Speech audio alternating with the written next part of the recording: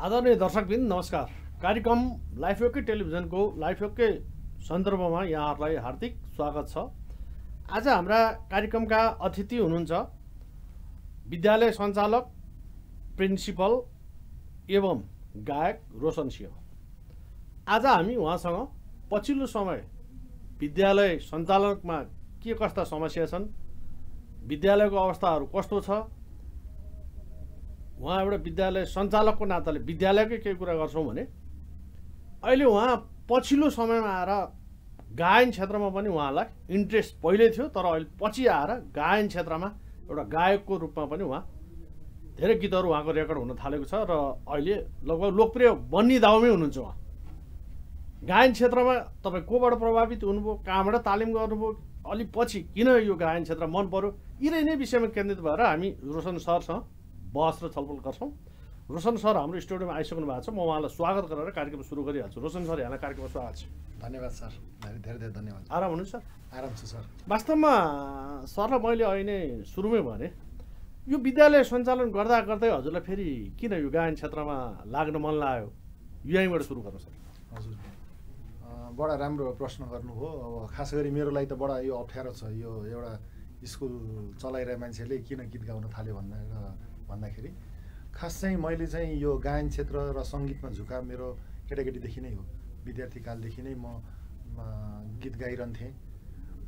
पहिला चाहिँ अब अर्काको कभर अँ, कलेज लाइफमा युनिभर्सिटी लाइफमा त अलि झनै सक्रिय भएर लागि थियो। किर्तिपुरतिर टियुमा पढ्दाखेरि त मलाई लाग्छ मेरो ब्याच ताका चाहिँ कुनै पनि डिपार्टमेन्टको साङ्गीतिक कार्यक्रम हुँदाखेरि सायद मैले नगाएको कुनै कुरो प्रोग्रामै हुन्थेन होला। एउटा पहिलो गीत नै मेरै हुन्थ्यो। त्यसमा चाहिँ स्वागत र विदाई सम्बन्धी गायन चाहिँ मेरै हुन्थ्यो सुरुवातमा। त्यसको शब्द मेरै हुन्थ्यो सङ्गीत मेरै हुन्थ्यो र मेरै स्वरमा हुन्थ्यो। र बिचमा पछि आएर चाहिँ अब यसले चाहिँ मलाई चाहिँ परिवार पाल्न पेट पाल्न चाहिँ दिँदैन होला जस्तो लागेर मैले चाहिँ खास छोडेको थिएँ। समयले चाहिँ अहिले गरायो फेरि। भनेपछि सरले स्कुल लाइफदेखि नै यो गायन क्षेत्र मन पराउनु भयो होइन। स्कुलमा आफू सर सरका साथीहरूलाई धेरै खुसीमै राख्नुभयो फ्राइडे त प्राय स्कुलहरू रमाइलो हुन्थ्यो। हजुर रमाइलो कार्यक्रमै हुन्थ्यो होइन। इसी एक्टिभिटीमा म अलि एक्टिभ नै थिएँ। वास्तवमा रोशन सरको दृष्टिकोणमा हजुर। आर्थिक पाटो अलिक बलियो नभएको कारण अथवा आर्थिक पाटो आफू सक्षम नभइकन यो क्षेत्रलाई अगाडि बढाउन सकिँदैन भनेर हजुरले यो आफूलाई जुन सुरुमै मन परेको विषयलाई चाहिँ अलिक पछि पारेर विद्यालय सञ्चालन गर्छु। अनि त्यसपछि आफू अलिक सम्पन्न अथवा आफूको आधार बलियो आर्थिक आधारहरू बलियो भएपछि यो क्षेत्रमा लाग्नुपर्छ भन्ने एउटा चलाखी नै हो कि अथवा तपाईँलाई के लाग्छ यो चाहिँ होइन सर यस्तो होइन. अब म एउटा सम्पन्न परिवारमा जन्मेको हुर्किएको मान्छे हो. तर सम्पन्न त आफ्नो ठाउँमा छ. तर अझै पनि हाम्रो समाजमा कस्तो छ भने ठुलो बन्नलाई पढ्नै पर्छ. होइन अझ ताल पऱ्यो भने डक्टर इन्जिनियर वकिल या यस्ता कुराहरू केही गर्नै पर्छ भन्ने मात्रै छ अब अहिले आएर अलिकति सङ्गीतमा र गरी खानेहरूलाई चाहिँ अलि वातावरण पहिला हेरी चाहिँ धेरै राम्रो अवसरहरू छ।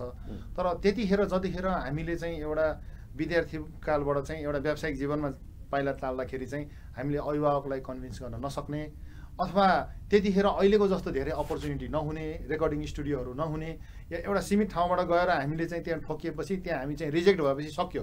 हाम्रो लाइफ छैन उहाँहरूले चाहिँ ओके भन्यो भने ठिक छ ओके भनेन भने छैन। भनेर चाहिँ हामी हिँड्नुपर्ने स्थिति थियो भने अहिले चाहिँ त्यो चाहिँ छैन। र अलिकति चाहिँ केही हदसम्म चाहिँ त्यो पनि हो। अब अहिले चाहिँ एउटा व्यवसायिक जीवनमा लागिसकेपछि आफूलाई खाना लाउन पुगिसकेपछि अब के हुन्छ भने हजुरको के अलिकति नाम कमाउँ न त के नाम कमाउने भन्दाखेरि आफूलाई भएको रहर आफूले जानेको कुरा चाहिँ सङ्गीत क्षेत्रमा छ भने त्यसैमा हात हालौँ भनेर चाहिँ हात हालेको। होइन जस्तै रोशन सरले भन्नुपर्दा नि जस्तै हजुर पहिला पनि आफू सम्पन्न हुनुहुन्थ्यो। हजुरलाई स्कुल लाइफमा पनि यो सङ्गीत क्षेत्र असाध्यै मनपर्ने होइन? शुक्रबार कहिले आउला आफ्नो गीत गाउनको लागि पनि। जस्तै एउटा चाहे एउटा राजनीति गर्नलाई होस् अथवा कुनै पनि क्षेत्रमा एउटा लोकप्रियता कमाउनलाई आर्थिक पाटोको भूमिका कस्तो हुन्छ सर? किनभने मान्छे जब एउटा राजनीति नै गर्दाखेरि पनि तपाईँको द्रव्य पिचास भ्रष्टाचारी ठग भयो भने त्यसले सही आफ्नो लोकप्रियता कमाउन सक्दैन क्षणिक पैसा चाहिँ कमाउँछ। तर उसले जुन खालको मार्केट लिनुपर्ने हो नि सर एउटा सामाजिक सेवाको भावनाले काम गर्न सक्दैन नि सर। सरको चाहिँ एउटा राम्रो पछि के थियो भने आर्थिक पाटो आफू पहिले स्वयं सम्पन्न र पछिल्लो पाटो पनि तपाईँले एउटा विद्यालय सञ्चालन गरेर अब मैले ट्र्याक थोरै चेन्ज गरेर पैसा र नाम चाहिँ दुवै कमाउनुपर्छ भन्ने हिसाबले तपाईँले यो क्षेत्रमा हात हाले हो कि जस्तो लाग्यो सर? सबभन्दा पहिला त हजुरलाई मैले चाहिँ के भन्छु भने र यहाँ हेर्ने दर्शक महानुभावहरूलाई पनि मैले ट्र्याक चेन्ज गरेकै होइन। मेरो त मेन पेसा भनेकै शिक्षण पेसा नै हो। म त्यसैमै रहन्छु। त्यसबाट त सर सक्सेस भइसक्नु भयो नि। अब सक्सेसको त कुनै एउटा यो होइन गायन क्षेत्रले हजुरलाई जति लोकप्रियता पपुलारिटी दिन्छ नि शिक्षक क्षेत्रले शैक्षिक क्षेत्रले यो अध्यापन क्षेत्रले अलिक कमै दिन्छ कि जस्तो। हो हो। त्यसमा चाहिँ मान्छु हजुरको। अब त्यो चाहिँ मेरो रेगुलर पेसा चाहिँ रहिरहन्छ। साथमा चाहिँ हजुरको कस्तो छ भने मैले चाहिँ अब भनौँ न योभन्दा अगाडि एकजना म कहाँ चाहिँ अनलाइन पत्रिकाले इन्टरभ्यू लिन आउनुभएको थियो। उहाँले भन्नुहुन्थ्यो तपाईँ यो दुईवटा उसमा नाउँमा खुट्टा हालेको त होइन भन्दाखेरि मैले उहाँलाई के भनेको थिएँ भने यो सङ्गीत भन्ने कुरो चाहिँ कसैले कसैको कपी गरेर कसैले कसैको चाहिँ म अब रहर गरेर हुने कुरो होइन। यो प्रकृतिले दिने कुरो हो यो सरस्वती माताको देन हुँ। र शिक्षा पनि स्कुल पनि सरस्वतीको मन्दिर हो।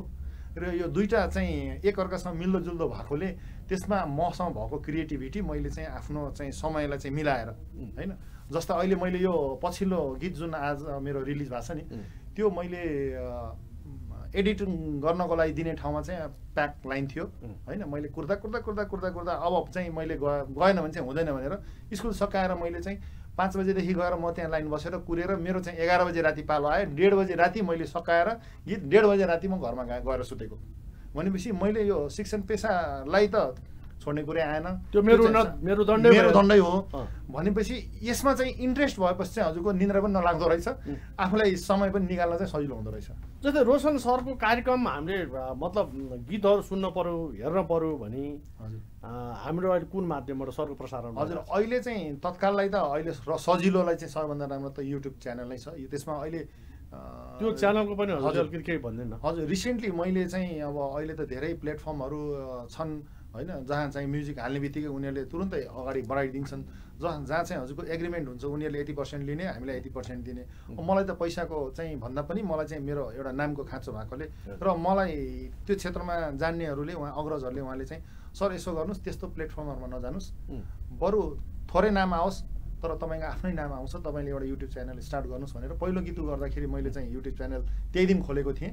र त्यो च्यानलको नाम चाहिँ मैले रोशन सिंह म्युजिक नौ सय पचास म फेरि पनि दोहोऱ्याउँछु। रोशन सिंह म्युजिक नौ सय पचास भनेर युट्युब च्यानल खोलेछु।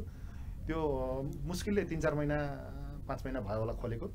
र एकजना दुईजना गरेर सब्सक्राइबर बढ्दै बढ्दै गएर चाहिँ बढ्दैछ। उम्, र हजुरको त्यही च्यानलमा मैले चाहिँ रिलिज गर्ने गरेको छु। सरले अलिकति अब अझ अलिकति हजुरले जुन खालको रहर गरिसक्नु भयो अब रहर त के रहर भन्नु बच्चादेखि नै हजुरको हजुर। अब हजुरसँग त्यो इनर्जी नै थियो हजुर। साङ्गीतिक क्षेत्रको हजुर। अहिले अब जुन बाहिर आयो भन्ने मात्रै हो होइन हजुर हजुर यसलाई अझ व्यापक गर्नलाई सरले रेडियो टेलिभिजन अथवा अब अहिले त मिडियाको जमाना छ नि त? हजुर। त्यसलाई अझ व्यापक गराउन हजुरले यो युट्युब यो रोशन सिंह म्युजिक नौ सय पचास भन्दा पनि अर्को विकल्पमा जान सक्ने सम्म सकिन्छ सकिन्छ नसकिने होइन सर तर अलिक चाँडो लोकप्रियता खोजे हामीले सरको। हजुर अब त्यो पनि सकिन्थ्यो होला. तर कहिलेकाहीँ के हुन्छ भने हजुरको म चाहिँ अलिकति छुट्टै आध्यात्मिक झुकाव भएको. र के भने भनाइ छ हजुरको समयभन्दा पहिले. र भाग्यमा जति लेखेको छ त्योभन्दा बढ्दा पाइँदैन। अब सायद किनभने मैले त्यसै गरी नै प्लान गरेरै या यसै गरेरै गर्छु भने त अघि नै गरिसक्थेँ होला. त समय चाहिँ अहिले नै आएको रहेछ. त्यसैले अहिले एकाएक चारैतिरबाट चाहिँ एग्रेसिभली गएर चाहिँ म चाहिँ आफू हिट हुनुभन्दा पनि. चाहिँ अलिकति कोही कोही एउटा प्लेटफर्म बनाऊ केही दस बिसवटा गीत गाउँ कसैले सोद्धाखेरि पनि दस बिसवटा गाइसक्नु भएको छ कुन कुन गीत हो भनेर गइसकेपछि त्यसपछि छ नि त्यसपछि चाहिँ अब रेडियोमा टेलिभिजनमा। अब रेडियो टेलिभिजनमा अहिले जान त त्यति गाह्रो पनि छैन। तर मैले प्रयास चाहिँ गरेको छैन। एउटा रेडियोमा चाहिँ कुरा हुँदाखेरि चाहिँ मलाई नाम याद भएन। उहाँले चाहिँ सर हामीको यसो यसोमा चाहिँ त्यहाँ हालिदिनुहोस्। त्यहाँ त्यो चाहिँ एक किसिमको चाहिँ अथर हजुरको अथोरिटी मैले लिएको बराबर हुन्छ। अनि हामी यहाँ बजाउँछौँ भन्ने भयो उहाँहरूलाई अनलाइन पठाउँदाखेरि मैले चाहिँ जानिनँ टेक्निकली अनि मैले चाहिँ तपाईँलाई चाहिँ म त्यहीँ आएर गरौँला के गरौँला भनेर भने त्यतिकै भ्याएकै छैन। अनि त्यो पनि गर्ने प्रयास छ गरौँला। सरको गीतहरू प्रायः कस्तो? प्रेम सम्बन्धी हुन्छ कि एउटा? एक्ज्याक्टली हो? हजुर। किनभने मान्छे नि तपाईँ अलिकति त्यस्तै खालको हुनुहुन्छ धन्यवाद सर। लेख्न चाहिँ म हजुरको रोमान्टिक र प्रेम सम्बन्धी र यो सिरियस गीतहरू पनि लेख्छु। हजुर। होइन. हजुरको चाहिँ गजल पनि लेख्छु. बिछोडका गीतहरू बढी हुन्छ कि सर? होइन। रोमान्टिक नै हुन्छ। रोमान्टिक नै रोमान्टिक नै हुन्छ। र। अझ अलिकति के छ भने घरको फ्यामिली मेम्बरहरूले पनि मलाई चाहिँ रोमान्टिक नै सुहाउँछ र उहाँहरूले चाहिँ रोमान्टिक नै गाउनुहोस् रोमान्टिक नै लेख्नुहोस् भनेपछि प्राय रोमान्टिक गीतहरू नै आउँछ। यो चाहिँ हजुर कस्तो नि फुर्ने कुरो हो। हो। कहिलेकाहीँ चाहिँ के मैले यो गर्छु भनेर होइन फ्याट्टै हिजो एउटा सिरियस गीत फुर्यो मैले मेरो श्रीमतीलाई देखाएँ अनि उनले हाँसिन्. किनभने ए सिरियस गीत गाउनु लाग्छ कि क्या मैले होइन गाउनु लागेको होइन यो चाहिँ स्टकमा रहन्छ नि त यहाँ। दोरीको रहिरहन्छ। गायक जस्तो हुनुभयो। जस्तो जस्तो खालको अवस्था देख्यो त्यतिखेर गीत बनिहाल्ने अलिअलि त हजुरको क्रिएसनले त झन् नै त्यस्तै गराउँछ किनभने। हजुरको एउटा मेन थिममा कन्सन्ट्रेट भएर लेख्ने हो। अथवा त्यसमा कल्पनामा बग्ने हो। मेन थिम भइसक्यो सकिन्छ खासै त्यस्तो त्यस्तो त। दोरीको गायकहरूले नि जस्तै हजुर जस्तो देख्यो त्यस्तै गीत बनाइदिन्छ नि हजुर अलिकति दोहोरीको गायकहरूमा चाहिँ हजुर के हुन्छ भने उनीहरूसँग चाहिँ लास्टमा राइमिङ वर्डहरू पहिले प्रिसेट हुन्छ र त्यसमा उनीहरूले चाहिँ अलिकति मेनिपुलेसन गर्ने हो हजुर तर यसमा चाहिँ हजुरको कस्तो हुन्छ भने आफ्नो जुन एउटा फिलिङ हुन्छ. तर फिलिङलाई चाहिँ कति डेफ्थको वर्डले. चाहिँ एउटा सेप दिने अब अलिकति वजनदार वर्ड छ भने श्रोतालाई मनपर्छ हजुर अब नभए त हजुरको केही वर्ड त यस्ता छन् माया तिम्रो मेरो। हाम्रो होइन। यी मुटु। होइन यी थुनिदिउँला यस्तो गरिदिउँला यो त जहाँ पनि फिट हुनैपर्छ।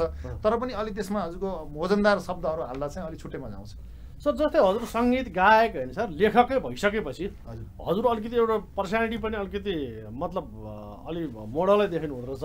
त्यस कारण हजुरले यो म्युजिक भिडियो पनि बनाउँ बनाउँ त लाग्दैन सर पछि। लाग्छ तर कहिलेकाहीँ के हुन्छ भने सबै थोक आफैले गर्दाखेरि अलिकति राम्रो म्यासेज जाँदैन। फेरि म एउटा स्कुल सञ्चालक मान्छे। स्कुल सञ्चालक त अब हजुरको त अरू सेकेन्ड पर्सेन्ट हजुरको म्याडमले चलाउन सक्नुहुन्छ। सक्नुहुन्छ तर अब त्यो त सेटिङमा गइसक्यो नि सर। स्कुललाई हजुरले अब टाइम दिइरहनु परेन नि। होइन भए पनि हजुर कहिलेकाहीँ के हुन्छ भने रोमान्टिक गीतमा रोमान्टिक सिनहरू दिनुपर्ने हुन्छ। रोमान्टिक सिनहरू दिँदाखेरि चाहिँ अलिकति कस्तो हुन्छ भने दर्शकको भावनालाई पनि बुझ्नु बुझ्नुपर्छ। जस्तै रोमान्स गर्ने एज के छ? रोमान्स गर्ने अनुहार के छ? अब मैले यो एजमा रोमान्स गर्दाखेरि केही पर्सेन्ट दर्शकले भए पनि। यो बुढो मान्छेले के रोमान्स गरे होला भनेर भन्दाखेरि त त्यो उसलाई त मैले सन्तुष्टि दिन सकिनँ नि। र त्योभन्दा यत्रो ठाउँमा खर्च गरियो भने एउटा मोडललाई किन खर्च नगर्ने त? होइन? र अलिक जो कि हेर्नमा पनि एकदमै राम्रो छ। उमेर पनि भर्खरको भरभराउँदो छ। होइन. अनि त्यो हिसाबले हजुरको मेरोमा चाहिँ अब कहिलेकाहीँ अब हामी सिङ्गर भनेको त ब्याकमै हुन्छौँ। अब लास्टमा गीत हजुर आफूलाई के भिडियो मतलब यो म्युजिक भिडियोको लागि बुढो महसुस गर्नुहुन्छ सर उमेर? होइन त्यो त कहिले पनि हुँदैन हजुरको। त्यो कथाले कहाँ कसरी त्यसलाई हजुरको स्क्रिन प्ले स्टोरीले कसरी दिएको छ उम्. अँ, त्यसलाई हजुरको चाहिँ त्यो स्टोरी त्यसरी ढाल्यो भने चाहिँ फेरि सकिन्छ मेरोलाई पनि गर्न सकिन्छ। होइन हजुरको एज र अनुहारको कुरा गर्नु हो एज र अनुहार त अहिले नि काफी छ नि सर। धन्यवाद हजुरको तर अलिकति मलाई चाहिँ कस्तो लाग्छ भने मलाई चाहिँ रहर चाहिँ हजुरको एक्टभन्दा पनि गाउन भएकोले। त्यसैलाई नै फोकस गरौँ न.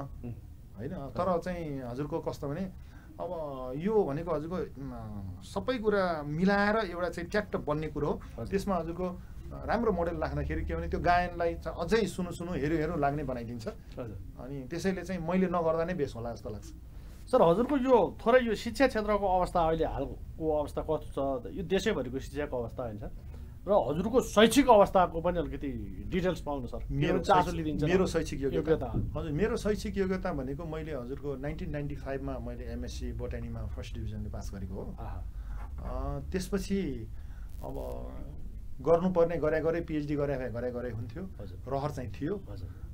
पेसाअनुसार चाहिँ आवश्यकता पनि देखिएको थियो। तर गर्न पाइएन। हजुर। र हजुरको मैले अहिले अब स्कुल सञ्चालन गर्दाखेरि एउटा चाहिँ धेरै जिरो लेभलबाट गरेको स्कुल। हजुर। अब यो काठमाडौँ वडा नम्बर बत्तिसमा। अब जे होस् मेरो स्कुलको नाम लिँदा चाहिँ ए यो स्कुल चाहिँ ठिकै छ राम्रै छ भनेर चाहिँ बालबाटिका स्कुल भनेपछि प्रायले चाहिँ राम्रै मान्नु भएको छ। त्यो चाहिँ अलिकति एउटा सबैभन्दा ठुलो कमाइ नै त्यही लाग्छ मलाई। होइन सरको यो पहिला बालबाटिका स्कुल सञ्चालन गर्दा र अहिलेको अवस्था सरले दान्नु पर्दा आकाश जमिनै भइसक्यो होला। आर्थिक रूपमा पनि पपुलारिटीको रूपमा पनि होइन सर? के हो? यसलाई कसरी भन्नुहुन्छ? आर्थिक रूपमा त अब छैन भनौँ भने अब त्यहाँ एउटा खाइएको छ लागेको छ होइन? तर के भने त्यहाँबाट लिएर कतै जोडिएको भन्दाखेरि किनभने आवश्यकतै भएन। हजुर। अब मैले अघि नै पनि भने म एउटा चाहिँ खाना लाउन पुग्ने सम्पन्न मध्य मध्यमवर्गीय परिवारमा मजाले पुग्ने गरी भएको मान्छेले मलाई चाहिँ अब घर जोड्नु परेन जग्गा जोड्नु परेन केही गर्नु परेन। त्यहाँ भएकोलाई चाहिँ आफ्नो चाहिँ उ गर्ने कुराहरू हो जस्तै भनौँ न। अब त्यहाँबाट मैले पाएको पैसा कसरी राम्रो गर्ने भन्ने हजुर अब त्यही पैसाले त मैले सायद यो। सङ्गीतमा खर्च गर्छु होला म्युजिक भिडियोमा खर्च गर्छु होला। तर रहेको कुरा हजुर के छ भने अब त्यति साह्रो चाहिँ त्यहाँबाट चाहिँ अलिक घरबारी कमाउने चाहिँ चाहिँ लेभल चाहिँ बालबाटिका अहिले पुगिसकेको छैन। भोलि त्यो आयो भने चाहिँ अनि चाहिँ गरिएला अँ, सरलाई त्यो विद्यालय खोल्नै मतलब कसरी मतलब एउटा प्रेरणा प्रेरणा। कुरा छ नि सर। हजुर एकदमै राम्रो एउटा- प्रश्न मनकै प्रश्न हजुरले भनिदिनु भयो। मैले योभन्दा अगाडि पनि बिचमा मेरो पेसाहरू चाहिँ केही चेन्जहरू भएको छ होइन? मलाई चाहिँ कस्तो भने रियली भन्यो भने सायद मैले चाहिँ अलिकति यो नलुकाइकन भन्नुपर्दा म चाहिँ शिक्षण पेसामा चाहिँ मरिकै आउँदिनँ भनेर ए, लागेको मान्छे हो। त्यसैले म अलिकति ढिलो लागेको मान्छे हो। किन भन्दाखेरि शिक्षण पेसा भन्ने बित्तिकै हाम्रो समाजमा अलिकति नकारात्मक दृष्टि छ। स्कुल भन्ने बित्तिकै प्राइभेट स्कुल भन्ने बित्तिकै अलिकति आलोचनात्मक नजरले हेर्ने। चलन छ। शिक्षक भन्ने बित्तिकै यो चाहिँ कतै काम नपाएर लागेको त होइन। अथवा शिक्षक भनेपछि त यो कतै उ नभएर कतै नबिकेर या तल पनि यसको थोरै नै हुन्छ भन्ने अलिकति हेपिएको दृष्टि छ। मोस्टली चाहिँ सबैलाई चाहिँ नभनौँ। अनि त्यही भएर मलाई चाहिँ त्यो चाहना थिएन। म चाहिँ मास्टर्स डिग्री सकाउने बित्तिकै पनि कलेजमा मैले चाहिँ लेक्चरर चाहिँ न जोइन नगरेको कारणै त्यही हो। अब रहेको कुरा हजुरको के छ भने जुन लेखेको हुन्छ नि। त्यो वर्की फर्की आउँछ।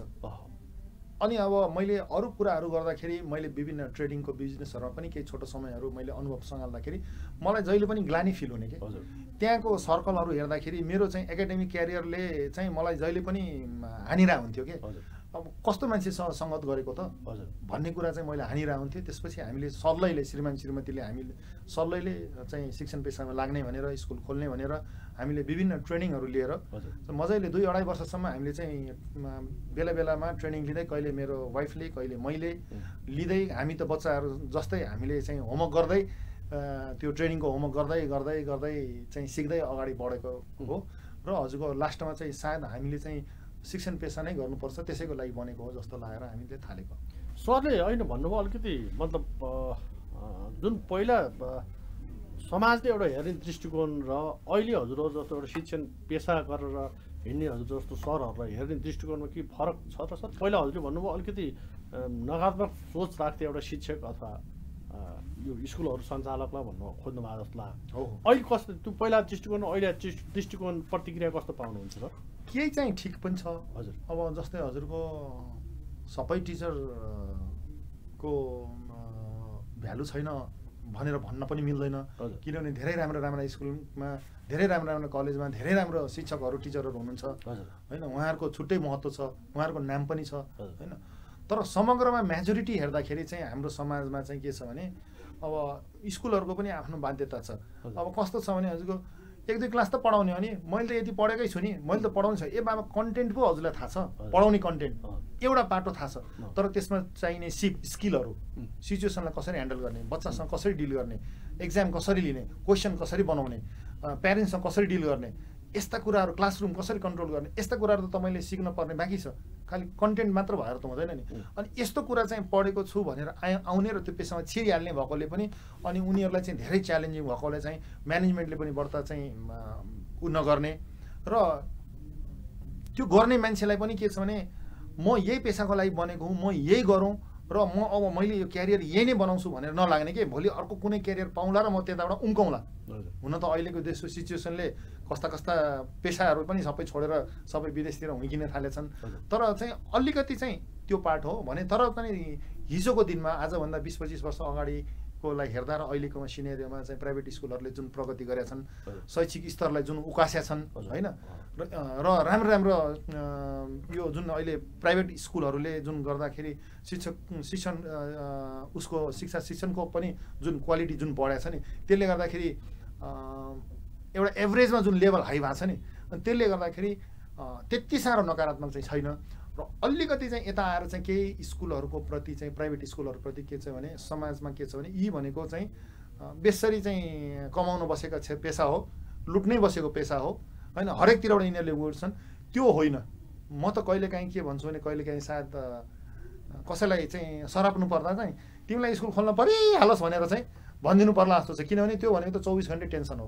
होइन कति कताखेर कतिखेरबाट फोन आउने हो गाडीवालाको फोन आउने हो कि मिस्त्रीवालाको फोन आउने हो कि घरबेटीको फोन आउने हो कि बच्चाको अभिभावकको फोन आउने हो कि कुनै टिचरले राति एघार बजी फोन गरेर सर मेरो त यस्तो हो भोलि म आउँदिनँ भोलि कसले क्लास ल्याला भन्ने यो चौबिस घन्टे टेन्सन भएकोले कहिले काहीँ त के के लाग्छ भने नि धेरै त्यस्तो गर्ने मान्छेलाई उसलाई चाहिँ हामीले पनि चाहिँ श्राप दिएर दिएर चाहिँ तपाईँलाई चाहिँ स्कुल खोल्नु परिहालोस् भनेर भन्नुपर्ने जस्तो। किन भित्री पीडा आफैलाई थाहा छ अब हजुरको यत्रोजना लाई हामीले सबै व्यवस्थापन गर्नु आर्थिकदेखि लिएर अरू व्यवहारिक पक्षहरूदेखि लिएर सानो कुरो छैन धेरै च्यालेन्जिङ छ। अब बाहिरी बाहिरी हेर्छन् अब कसैले के हेर्छन् कसैले हजुरलाई हेर्दाखेरि हजुरको लुक्समा एपिरेन्समा जाला कहिले काहीँ हजुरको घरको हेरेर जाला कहिले हजुरको गाडी हेरेर जाला विभिन्न कुरा। त्यसको पछाडि लुकेको कुरा त छुट्टै छ नि धेरै कुराहरू छ। सर एउटा कुरो होइन अहिले हजुरले त्यही विषयमा व्याख्या त गरिसक्नु भयो हजुर। वास्तवमा प्राइभेट स्कुल र यो शिक्षा र स्वास्थ्य असाध्यै महँगो भयो भन्छन्। सरको दृष्टिकोणमा ठ्याक्कै के हो सर? मलाई चाहिँ व्यक्तिगत रूपले अन्यथा नभन्ने हो। एउटा हजुर एउटा सर्वसाधारण भएर हेर्दा। यस हजुरको मैले चाहिँ एउटा स्कुलको प्रिन्सिपल नभइकन सञ्चालक। नभइकन भन्नुपर्दा। म चाहिँ के भन्छ भने हरेक कन्ज्युमरको अधिकार हुनुपर्छ। हजुर। उसको एउटा अधिकार के छ भने उसले पाउने उसले खोजेको राइट छ। एउटा गरिबले पनि पढाउनु पर्छ नि शुल्क शिक्षा पनि हुनुपर्छ। एउटा बेसरी धनीले पनि पढाउनु पर्छ उहाँलाई चाहिँ हाइफाई लेभलको स्कुल पनि हुनुपर्छ। भोलि हाइफाई पढाउनलाई चाहिँ के विदेशै जानुपर्ने यहाँको पैसा लगाएर विदेशै बुझाउनु पर्ने गरी चाहिँ त्यो नियम बनाइनु हुँदैन। अब रहेको कुरा जो कन्ज्युमर छ ऊ पनि लाटो छैन। हजुर। उसले महिनाको यहाँ भनौँ न यहाँको एकदमै ब्रान्डेड स्कुल छ नाम नलिउँ। धेरै महँगो भनेर चिनिएका छन्। त्यहाँका अभिभावकहरू त लाटा छैन नि त। हजुर। उनले गएर पैसा दिँदाखेरि मैले त्यो पैसा बराबरको केही न केही पाएको छु भन्ने त छ नि। त्यो सोसल स्ट्याटस त्यो बच्चाको सर्कल धेरै कुरा पाएको छ नि त। त्यहाँ अरू धेरै कुरा भित्र जुन देखाउन नसक्ने कुरा त छँदैछ। त यस्ता कुरा चाहिँ के छ भने उनलाई पनि थेचारेर लगाएर चाहिँ त्यसैमा चाहिँ उ गर्नुपर्छ भनेर भन्नु चाहिँ उचित नहोला। अब भन्न त अब राजनीतिक हिसाबले भाषण गर्दाखेरि निशुल्क शिक्षा निशुल्क स्वास्थ्य भन्न बडा सजिलो छ। भइदिए त कसलाई राम्रो हुँदैन र? हामीलाई पनि के थियो र? हामी त के भन्छ भने सरकारी स्कुललाई यति राम्रो बनाइदेऊ हामीलाई फेलियर गराइदेऊ। हामी यो पेसा पनि त गरेको मान्छेले अर्को पेसा गर्न सक्छौँ नि त। अर्को पेसा हामीले गर्नै नसक्ने त होइन नि त। त मेरो भनाइ के छ भने दुइटैलाई जान दिनुपर्छ आफ्नो आफ्नो लयमा आफ्नो आफ्नो हिसाबले एउटा चाहिँ कम् फेयर कम्पिटिसन हुने गरी जान दिनुपर्छ। आफ्नो आफ्नो गर्छ उसले आफ्नो आफ्नो सबैको टार्गेट ग्रुप हुन्छ। अब स्कुलै छ हजुरको। यहाँनिर दुई हजार फी लिने पनि छ। होइन? दुई लाख फी लिने पनि छ। अब त्यहाँ चाहिँ अब हामीले उसलाई दुई लाख किन लिस् भनेर भन्नुभन्दा पनि आफ्नो आफ्नो तरिकाले यहाँ त्यसलाई मोनिटरिङ गर्ने एउटा मेकानिजम हुनु पऱ्यो सरकारको। त्यसलाई सिस्टममा लाने जथाभावी हुनु भएन यस्ता कुराहरू हुनु पऱ्यो बाँकी त अभिभावकहरू पनि बुझ्छन् मैले पैसा तिरेको चाहिँ रिटर्न कसरी लिने त्यहाँ छ कि छैन मैले गएर त्यहाँनिर के भन्नुपर्ने भनेर उहाँहरूले भनिहाल्नुहुन्छ। त मलाई चाहिँ के लाग्छ भने हजुरको यो दुइटैलाई प्यारलली जान दिनुपर्छ बेटर क्वालिटीको लागि। सरलाई यो शैक्षिक क्षेत्रको एउटै मात्र प्रश्न अब सरलाई जुन राज्यले यो सरकारी स्कुलहरूलाई लगानी गरेको छ नि सर हजुर। वास्तवमा प्राइभेटको भन्दा बढी लगानी गरेको छ भन्ने सुनिन्छ। प्राइभेट स्कुलको स्तरमा सरकारी स्कुल किन एकदम कमजोर हुन्छ सर? र यसलाई सुधार्न के गर्नु पर्ला? यो त ओपन सिक्रेट छ हजुरको। यसमा त के छ भने सुधार्नको लागि त्यहाँ सुधार छु भनेर भित्रैबाट नआइकन। कसको भूमिका हुनु पर्यो सर यसमा? राज्यले राज्यको त लिडिङ मान्छेकै हुनु पर्यो जस्तै भनौँ न एकछिनको लागि म हजुरहरूको स्कुल अथवा प्राइभेट स्कुलहरू त्यति राम्रो हुने त्यस्तै लेभलका मास्टरले पढाउँदा सरकारी मास्टरहरूले पढाउँदा त्यही स्कुलमा राज्यले करोडौँ अरबौँ लगानी गरेको छ। तर क्वालिटी एकदम डाउन राजनीतिक हिसाबले त्यहाँनिर नियुक्ति गर्ने। उनीहरूको आफ्नो मान्छे पार्टीका चाहिँ नि। अब पार्टी भनेर एकदमै डेडिकेटेड कर्मचारी के अरे डेडिकेटेड हुनु पर्दैन पर्दैन होल टाइमर पनि हुनु पर्दैन। अब मेरो यो बुहारी हो उहाँलाई हालिदिनु पर्यो म पनि यही पार्टीको हो। मेरो छोरी हो उसलाई हालिदिनु पर्यो राजनीतिक नियुक्ति नै कमजोरी हो मलाई त त्यही लाग्छ। इन्क्या राजनीति भन्दा पनि इन्क्यापेबल मान्छे त्यो ठाउँमा पुगेको। सही मान्छे नपुगेको। पहुँच र प्रभावको आधार त्यही हो। होइन सर? हजुर। अरू केही पनि नभए त त्यो सरकारी प्रतिस्पर्धाबाट त्यो शिक्षकहरू नियुक्ति गर्ने हो भने सायद हजुरहरूलाई टक्कर दिन्छ होला है सर यो सरकारी स्कुलहरूले। प्राइभेट अव- अवश्य किनभने त्यहाँ त सबैभन्दा पहिला त इन्फ्रास्ट्रक्चरहरू बिल्डिङहरू त्यहाँ भएका जग्गा जमिनहरू भौतिक संरचनाहरू। समस्याहरू हामीभन्दा त धेरै। माथि छ। जुन कि हामीले कल्पना पनि गर्न हो। अनि यी सब कुराले गर्दाखेरि हजुरहरू एउटा भाडा लिएर सञ्चालन गरेर स्कुलहरू चाहिँ यति हाइफाइसँग चलेको छ। होइन सर? हामीले त कारण छ हजुर हामी त डु एन्ड डाईको स्थितिमा छौँ। हामीले त एकदम सानसानो कुराहरू के लाएर हेर्छौँ। यो मान्छे ले गलत गरेको छ यसलाई चाहिँ हामीले कसरी गर्ने? यो मान्छे चाहिँ हुँदैन है हाल्न भनेर हामीले के गर्ने भनेर हेरेर हुन्छ त्यसले गर्दाखेरि हजुरको के छ भने अलिकति प्राइभेटमा चाहिँ च्यालेन्जिङ बढ्दा भएकोले हामीले चाहिँ अलिकति सफलता बढ्दा देखिएको त्यहाँ चाहिँ त्यही कारण हो। सर हजुरलाई जुन यो अहिले जुन स्कुल सञ्चालन गर्दा गर्दै हुन्छ यहाँ सर विद्या विद्यार्थी लेभलदेखि नै हजुरलाई यो गायन क्षेत्र असाध्यै मनपर्ने रहेछ। हजुर। होइन सर? यो बडा रमाइलो क्षेत्र पनि हो। अहिले मैले सुरुमा पनि सरलाई भने कहिले शुक्रबार आउला र गीत गाउनु जस्तो हुन्छ। हजुर। यो सरलाई खास सङ्गीत गायक यो लेखकको लागि सर हजुरले यो पछिल्लो समय काहीँ तालिम लिनुभयो अथवा यो क्षेत्रमा लाग्नलाई कस्ता व्यक्तिहरूले लाग्दा राम्रो हुन्छ? अथवा हजुरकोले यस विषयमा यो प्राविधिक ज्ञानहरू केही लिनु भएको छ कि छैन? हजुर। यो विषय अलिकति। प्रकाश पारिदिनु सर। मैले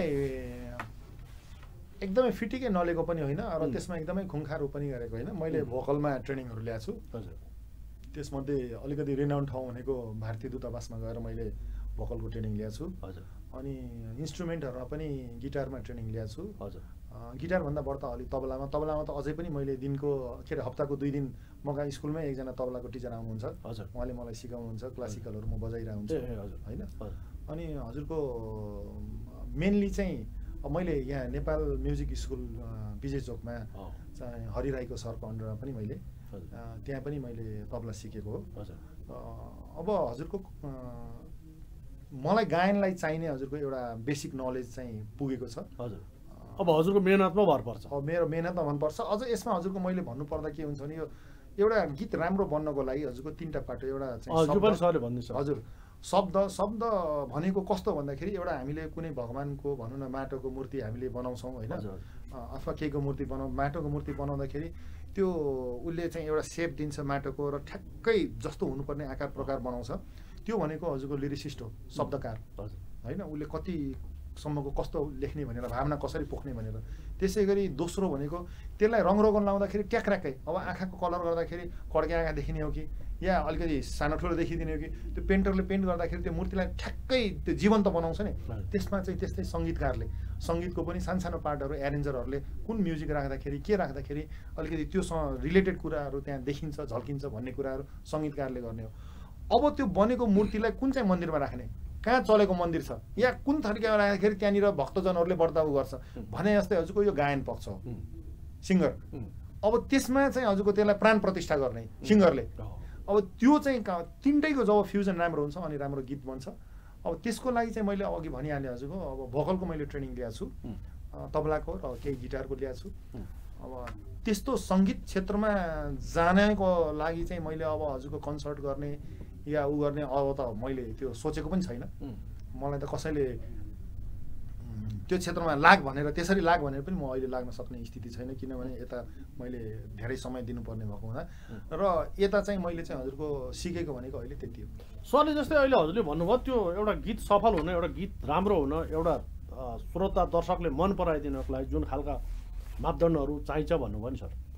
हजुरलाई के लाग्छ? हजुरको गीत सङ्गीतले मार्केट लिन अथवा लोकप्रियता कमाउन राम्रो हुनलाई म सक सफल हुन्छु जस्तो लाग्छ कि सर? एउटा रहर मात्रै मेटेला सरको जाने होइन मलाई त कस्तो लाग्छ भने हजुरको विषयमा हजुरकै मेरै विषय। मेरै हजुर। विषय मलाई चाहिँ के कता कता लाग्छ म चाहिँ एउटा चाहिँ चाँडै एक दुई वर्षभित्र म चाहिँ कतै जाँदाखेरि चाहिँ यो मान्छे चाहिँ सिङ्गर हो भनेर चाहिँ थाहा पाउने गरी चाहिँ म हुन्छु जस्तो लाग्छ। मेरो अन्तरात्माले भन्छ बाँकी चाहिँ मेरो लकको कुरा हो। जस्तै हिजै पनि मलाई चाहिँ एकजनाको चाहिँ कल थियो उहाँ चाहिँ अब नाम नलिउँ यहाँ। हजुर। नेपालको टप सङ्गीतकार मध्ये उहाँ पर्नुहुन्छ। हजुर। होइन उहाँसँग हिजो मैले बसेर कति आठ बजीसम्म उ गरेको थिएँ। एउटा नयाँ गीतको लागि हामीले छलफल गरेका छौँ। हजुर। अनि त्यसमा चाहिँ मैले उहाँलाई अलिकति फास्ट बिटको चाहिँ गीत बनाउनु पऱ्यो भनेर भनेको थिएँ। हजुर। त सायद यी सबै कुराहरू भनौँ न मलाई कसले चिनेछ र? तर त्यो लक्किली एकजना मित्रले मेरो गीत सुन्नुभएछ यो अहिले रिलिज हुन लागेको गीत उहाँले फेसबुकमा देख्नुभएछ सुन्नुभएछ। उहाँले रिकमेन्ड गर्नुभयो। सर यो फलाना उहाँको छ मेरो लेखनमा उहाँको गायनमा सरले गाउने हो भन्दाखेरि झन् अब के खोज्छस् कहाँ नआएको? हजुर। म गाउँछु किन गाउँदिनँ? अनि हिजो बसेर हामीले चाहिँ छलफल गरेर फाइनल गरेर आएको।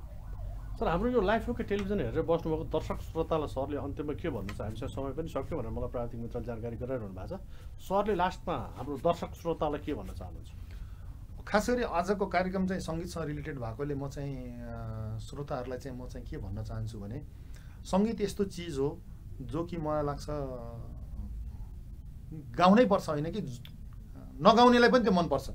जस्तै मान्छेलाई पनि सङ्गीत मन नपर्ने मान्छे धेरै रेयरली हुन्छ। सुन्नुहुन्छ।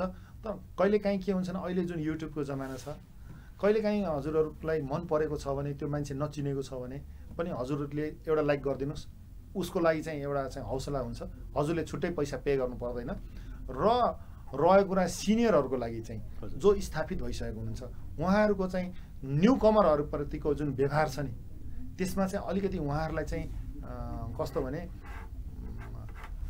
साँच्चै नै कला हो कि तपाईँ एउटा स्थापित आज हुनुहुन्छ तर तपाईँको पनि एउटा पहिलो दिन थियो तपाईँले पनि धेरै सङ्घर्ष गर्नुभएको थियो। त्यो सङ्घर्षलाई सम्झेर त्यो तल आउने सङ्घर्षमा यदि गर्नेमा यदि क्षमता छ भने उसलाई तपाईँले चाहिँ अलिकति सकारात्मक नजरले हेरिदिनुहोस् भन्ने मेरो एउटा चाहिँ बुझाइ हो आग्रह। हो। हस् कार्यक्रम आइदिनु धेरै धेरै धन्यवाद हस् हस् धेरै धेरै धन्यवाद। आदरणीय दर्शकबिन आज हाम्रो कार्यक्रमको अतिथि हुनुहुन्थ्यो। प्रिन्सिपल एवं गायक रोशन सिंह र हाम्रो प्राविधिक मित्र निरज श्रेष्ठ म कार्यक्रम प्रस्तुता मनोहर थापा। हामी तिनैजनालाई कार्यक्रमबाट बिदा दिनु अघि हाम्रो रोशन सरको यो गीत सङ्गीतले एकदम चाँडोभन्दा चाँडो लोकप्रियता कमाओस् भनेर रोशन सरलाई अग्रिम शुभकामना भन्दै कार्यक्रमबाट बिदा दिन्छु। बिदा चाहन्छौँ हामी टोल सबै टिमै होल टिमै कार्यक्रमबाट धन्यवाद नमस्कार।